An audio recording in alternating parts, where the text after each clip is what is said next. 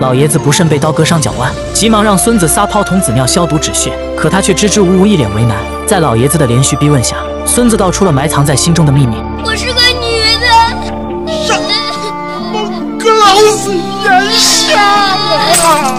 这部1995年上映的国粹电影横扫国际各大奖项，却在国内少有人知，更是无情揭露了旧社会下的男尊女卑。老爷子身怀绝技，却孑然一身，凭借一手变脸的手艺家喻户晓，江湖人称变脸王。这晚恰逢庙会佳节，变脸王当街卖艺，引来无数观众。那神乎其技的变脸绝技，令围观群众无不拍手叫好。就在这时，锣鼓喧天，礼花齐鸣。原来是当红川剧名角梁素兰扮演的活观音途径此地，女人们蜂拥而至，纷纷簇拥在她脚下。相传，只要摸了梁老板脚下的莲台，婚后必定生个大胖小子。而盘坐在莲台之上的梁老板，却被技艺高超的变脸王直接圈粉。第二天，梁老板将他约到茶馆，邀请变脸王投身自己的戏班子。九流归场，十流归班，老师傅单丝难成线，不如投身梨园，打个平伙，给我们戏班子添一笔油彩。抱歉，隔行如隔山，我是个孤命人，不合群的。梁老板见他不愿投身，便不再为难。临走时对其说道：“将军不下马，各自奔前程。多谢梁老板开茶钱。老师傅，你也该接续个香火，别让绝活失传了。”变脸王听后陷入沉思，他何尝不想有个后代传承衣钵？奈何儿子因病早逝，老婆嫌贫爱富弃他而去。变脸王辗转来到一处黑市，这里卖娃求生的父母比比皆是，但全都以女娃为主。我要男的，我不要女娃子。变脸王搜寻无果，准备离开之际，身后传来一句爷爷的呼喊声。变脸王驻足回头，只见一个长相清秀的男孩远远望着他。变脸王蹲下身，仔细端详。你几岁？八岁男孩，我的亲儿子。要不是家乡闹水灾，我还舍不得卖他呢。变脸王当即花了五块大洋买下了男孩，不但给他买了一套新衣服，还给男孩赐名狗娃。随后将他带回了所谓的家。变脸王以传为家亲侯为伴，自此他将狗娃当亲孙子对待，时常表演拿手绝活逗他开心。甚至狗娃因风寒生病时，变脸王不惜贱卖祖传宝剑，也要给他买药治病。这一刻，狗娃感受到了从未有过的温暖，但他心存感激的同时，又觉得十分愧疚。这天，变脸王带着狗娃来到街上闲逛，见有人在单手劈甘蔗，从头劈到尾，分文不取，直接拿走。变脸王为了逗狗娃开心，直接从头到尾将甘蔗一分为二，赢得满堂喝彩的同时，却也被躲在暗处的甘蔗贩子盯上。正当他准备劈第二根时，同伙用弹弓暗算变脸王，导致镰刀脱手掉落，划伤了脚。变脸王包扎伤口时，想用民间土方不灰沾童子尿止血，可这时的狗娃面露难色。在变脸王的再三催促下，狗娃道出了埋藏在心底的秘密：我是个女的。上，可老子眼瞎了！得知真相的变脸王彻底崩溃，当即决定抛弃狗娃，嘴里还不停的咒骂他是个骗子。小小年纪你勾结人贩子，你骗我老姜！我不是骗子，我让人卖过七回了，都嫌我是女的，拿我当牲口。只有您老人家心好，把我当人，当亲人，我怕说出来了，你不要我了。身为老江湖的变脸王不堪其辱，当即扔给狗娃一串钱，让其自谋生路。爷爷，爷爷，我会洗衣服，我会做饭，我还会给你挠痒痒。无论狗娃如何哭诉哀求，变脸王始终无动于衷，狠心乘船离去。狗娃则在岸边拼命追赶，甚至丝毫不顾生命危险跳入水中。变脸王实则嘴硬心软。见狗娃不识水性，果断跳入水中进行搭救。最终，变脸王于心不忍，留下了狗娃，但不准他再叫爷爷，而是改口叫老板。从今往后，让狗娃靠本事吃饭。除了变脸，他将所有的杂技倾囊相授。而心怀愧疚的狗娃学得格外用功。不久后，变脸王带着狗娃来到街边卖艺，狗娃表演杂技，变脸王则表演拿手绝活。片刻间便吸引了大批群众。这时，几名士兵凑上前来看热闹，随即还扔出一串赏钱，试图让他将变脸的绝活透个底。各位军爷，既不外传，海不露底，千两黄金不卖到十字街头送不交。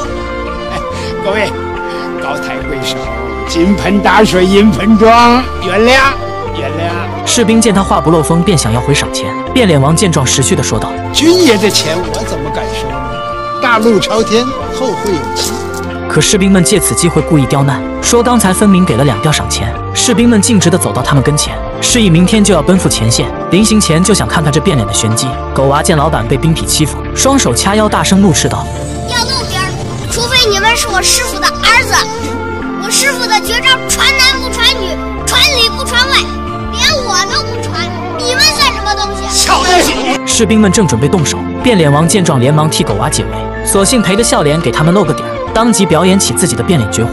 士兵们看得云里雾里，茫然不解，近在身前也没发现任何破绽。各位，哎，说穿了很简单，功夫全在手上呢。哎，只要各位练上十天半月，我担保都成变脸王。坦诚不公的一席话让士兵们心服口服，临走前心甘情愿地撂下赏钱。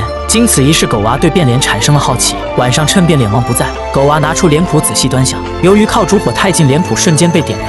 慌乱中燃起的脸谱掉在了干草上，狗娃极力抢救，仍然无济于事。当变脸王回来时，小船早已残破不堪。狗娃因愧疚躲在树后偷偷哭泣。少不经事的他不知该如何面对这一切，于是狗娃偷偷离开了变脸王，再次流落街头，靠乞讨为生。不料这一幕恰好被人贩子看到，狗娃再一次深陷贼窝。在一处破旧不堪的阁楼里，狗娃遇到了一位名叫天赐的小男孩。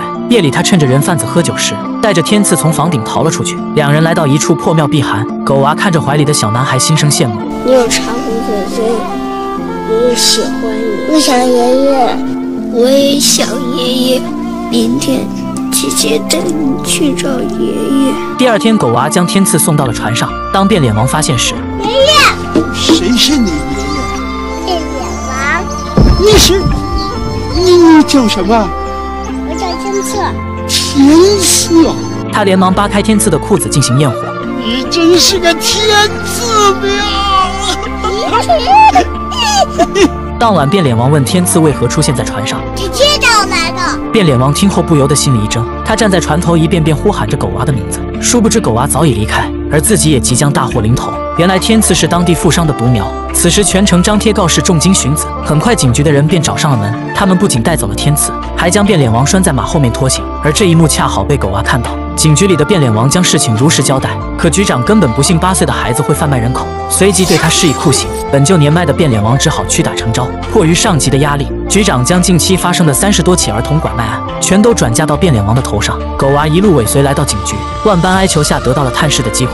老板，我本来想给你送个孙子，没想到把你害了，害成这样，老板你冤枉啊！是福不是祸，是祸躲不脱。狗儿，不怪你，都怪我命苦啊！我认了，我前生啊，欠你断头香啊！我今世还你性命债。紧接着，变脸王把将军托付给了狗娃，以后卖艺也算是有个帮手。狗娃牵着将军失魂落魄地走在街上，辗转来到变脸王常去的酒馆。老板得知此事后，让狗娃去找梁素兰帮忙。可当洪明觉梁素兰粉丝甚多，戏院早已被人群围得水泄不通。等狗娃挤过人群时，梁素兰已经坐车离去。狗娃来到梁素兰门前，久跪不起，直到第二天清晨，这才见到了她。狗娃将事情的原委告诉了梁素兰，梁素兰被狗娃的忠义所打动，决定找师长帮忙。可师长不想插手此事，便拒绝了他。梁素兰虽有心帮忙，但在权力者眼中只是个卑微的戏子。见梁素兰无能为力，狗娃被逼上了绝路。这晚趁着师长在看戏时，狗娃蹲在房顶，用绳子将自己缠住。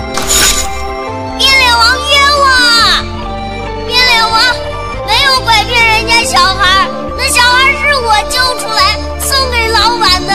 眼看师长无动于衷，准备离去，狗娃情急之下割断绳子，从高处掉了下来。梁素兰见状，纵身一跃，接住了狗娃，两人从台阶上滚了下去。梁素兰抱着昏迷不醒的狗娃，缓缓地走到师长跟前。师长，你眼睁睁看着这拼死喊冤的小女孩无动于衷吗？你还能袖手旁观吗？你是铁石心肠吗？师长听后羞愧地低下了头，说罢便带着狗娃离开。师长被两人骨子里的血性所打动，你一个唱戏的，有这样的血性，我这个带兵的也不是孬种。为了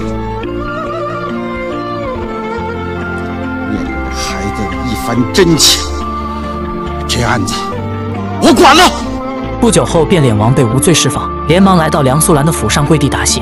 可梁素兰却说：“你最应该感谢的是狗娃，他才是你真正的救命恩人。”得知事情经过的变脸王匆忙回到岸边，看着船上擦拭地板的狗娃，心疼不已。